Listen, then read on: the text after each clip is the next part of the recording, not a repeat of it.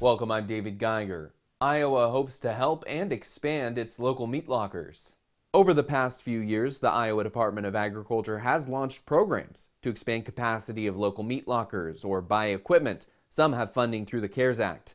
In 2020, there was an agreement with U.S. Department of Agriculture to allow state inspected meat products across state lines, allowing Iowa meat producers to have more markets. But Iowa Secretary of Agriculture Mike Naig says locker owners still face a labor shortage and recently put together a task force to figure out ways to help.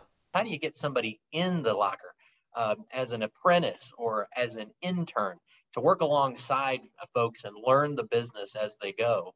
and uh, and hopefully then pursue a career in the uh, in the industry. And then we looked at the educational uh, gaps that might be out there, and we think there is an opportunity for a community college to step in and create a program uh, to provide some skills for folks looking to get into this space. Looking into the future, Naig says labor will also be a widespread issue for Iowa agriculture and highlighted the need to find laborers for the industry pointing out aspects of Governor Kim Reynolds' plan for Iowa that could help agriculture, specifically adding to competitiveness of Iowa products, tax changes, and expanding renewable fuels in the state. Trade is important. And and what can we do to, again, whether it's renewable fuels or connecting uh, farms to schools in terms of uh, local foods, or whether it's expanding meat processing, those are all doing things that expand markets for farmers. Of course, we've got to continue to focus on natural resources and and improving water quality and soil health and, and, and what's the tie to carbon and, and how does that all work together?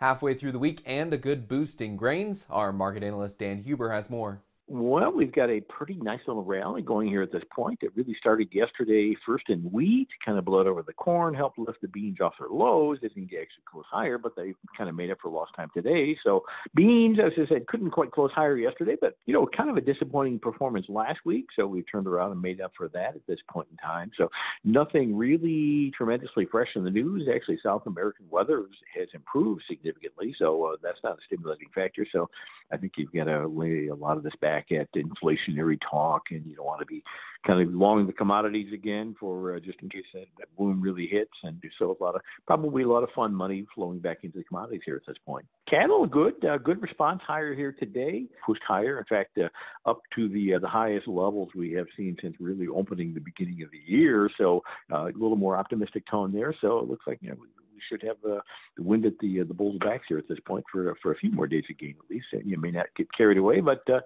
least it looks a little bit better there.